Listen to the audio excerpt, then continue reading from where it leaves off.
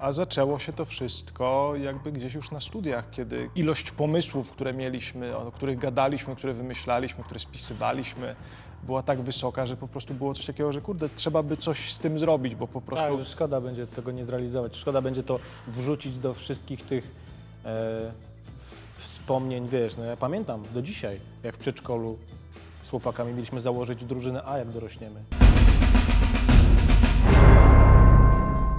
Widziałem ich od tamtej pory. A jakby się okazało, że oni ją założyli, Nie pomyślałem nawet o tym. że ona jest Ja pierdzielę. I mnie nie zaprosili. cię nie zaprosili. A, było dużo gadania, nic z tego nie wyszło, nie?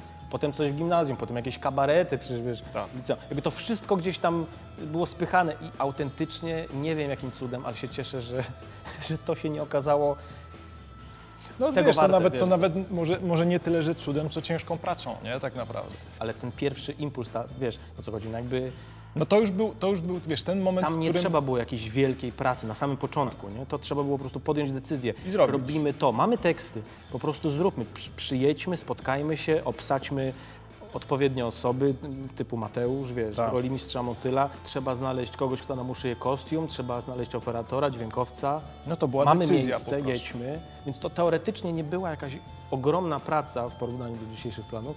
Jaki był ogólnie też cel, nie? Bo ja sobie tak myślę, jakby dlaczego, dlaczego to robimy już, abstrahując od tego, od tej pasji, od tego, że to nam sprawia przyjemność, pomimo tego, że jest męczące em, i od tego jakby Żeby hajsy zarabiać, nie? Jakby- hajsy. Głównie chodzi o Siorek. pieniądze.